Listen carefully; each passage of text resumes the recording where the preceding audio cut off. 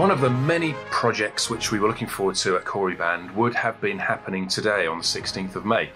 when the band would have travelled to my old stomping ground in Essex uh, to perform not only an evening concert but also a guest appearance at the Indoor Music Games finale, the uh, season end event. Uh, and the plan was for the Cory bands to play the world premiere of a new piece, which the Indoor Music Games commissioned from me. Uh, and not only the Cory band, but all of the other musicians uh, from all of the other bands which would have been there uh, on the day would have joined together uh, for a celebratory massed performance of my new piece.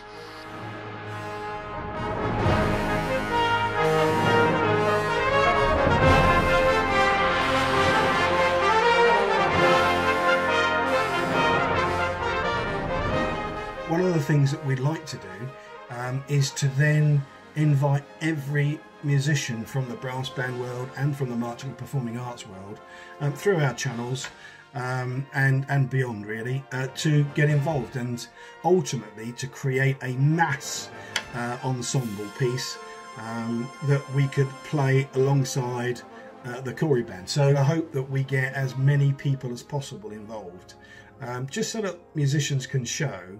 that even if we're confined, we can still get together.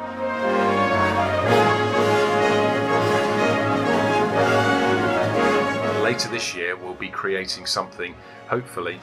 on a large scale.